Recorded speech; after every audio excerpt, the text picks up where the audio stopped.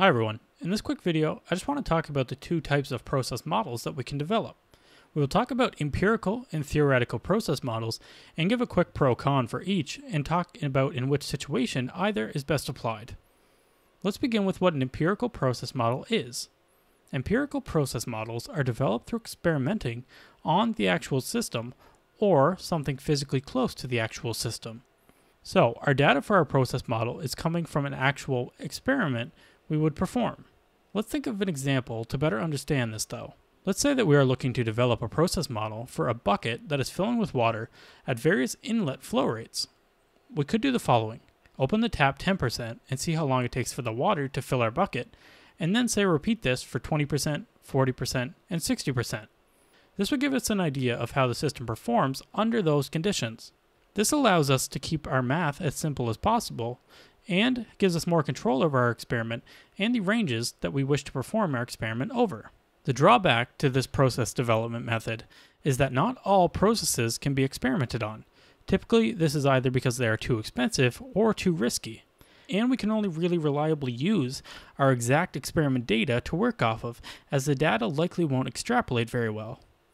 By that, I mean that even though we tested our tap at 40 and 60% opened, there's no guarantee that at 50% we will be right in the middle of those two values. And if we fail to account for this in our final control system, this could be a very costly mistake.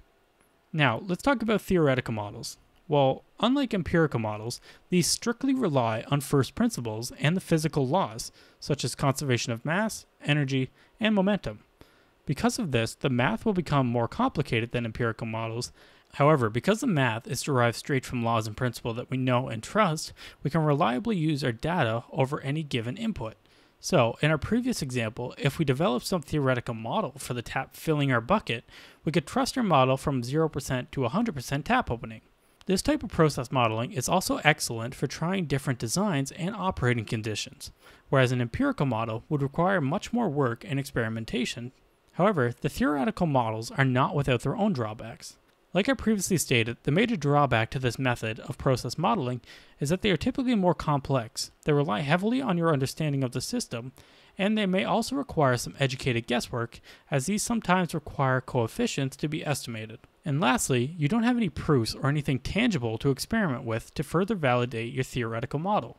In future videos in this playlist, we will primarily focus on theoretical models. However, some videos on empirical models will be completed to explain how one will go about developing an experiment and a model from that experiment.